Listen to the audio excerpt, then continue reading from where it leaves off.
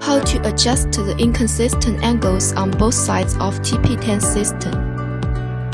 Place two plates under the direction of the oil cylinder, one on each side for bending detection. For convenience of explanation, we call the left side Y1 and the right side Y2, but this NC press brake actually only has one Y value on the system y1 equals 90 degrees, left side the side without motor on top.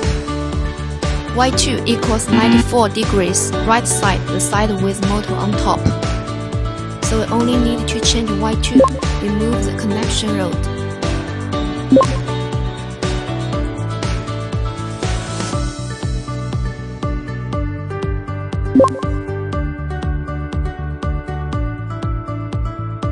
After the connection rod is dismantled, you need to adjust the y-axis depth on the manual page. Make both sides the same depth. Adjust the operating system now. The bending angle we set is 90 degrees. The y-axis depth at this time is 43.19. But the angle after bending is 94 degrees so the angle and y-axis depths do not match at this time. Adjusting the angle is achieved by adjusting the depth of the y-axis to correct the angle. Because now bending is 94 degrees, click to enter 94. Click here. The depth shown here is the correct 94 degrees depth.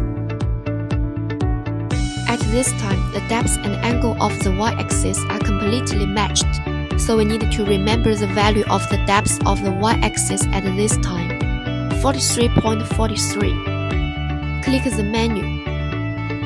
Click here to enter permissions password. Enter the correct depth just now.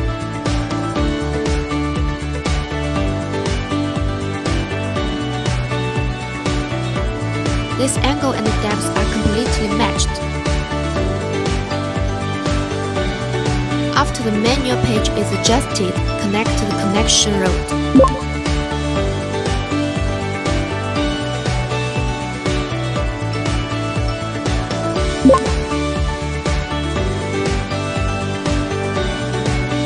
Now bending is accurate 90 degrees.